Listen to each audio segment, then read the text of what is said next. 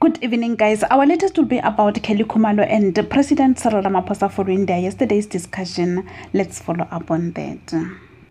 Yesterday, President Ramaphosa urged the citizens to protect democracy and not allow anyone to disrespect this democracy as it did not come easy. As we know, lives were lost, there was bloodshed, masses were left destitute, and a lot happened in SA prior democracy.